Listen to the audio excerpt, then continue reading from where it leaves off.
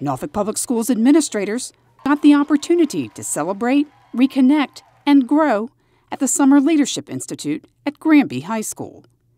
Amongst the highlights of the Institute were two outstanding keynote speakers.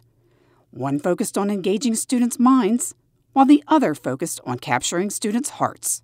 The message I had, I guess, is that there are certain almost uh, obvious, well known methods and strategies. And they only come down to about three different things in the areas of curriculum, very basic versions of curriculum, literacy, and effective instruction. If we did those things, and they're all things that educators are already somewhat familiar with, we would not only see gains coming uh, almost assuredly, but we'd see them come pretty swiftly. What we do here as educators in this field, it's, it's hard work. And so it's important for us to not only be able to reach students' minds, but to be able to reach their hearts as well. And that's what directly leads to the outcomes that we are looking for in school districts all across the world. Superintendent Dr. Sharon Birdsong kicked off this two day institute by celebrating student achievement and encouraging staff to remain focused on student outcomes.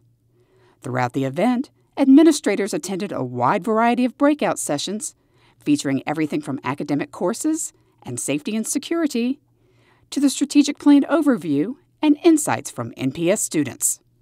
This has been the first time in three years that we've been able to come together, and it's been so wonderful. Um, the camaraderie, the ability to network, and to see people that you haven't seen in such a long time. The energy is just so positive, and everyone is feeding off of that positive energy, and we're looking forward to a great school year.